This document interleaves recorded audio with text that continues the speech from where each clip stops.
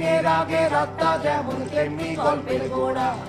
এক দেশের এক রাজার ছিল আট আটটা ঘোড়া একটা গল্প বলি শুনুন একটা গল্প বলি শুনুন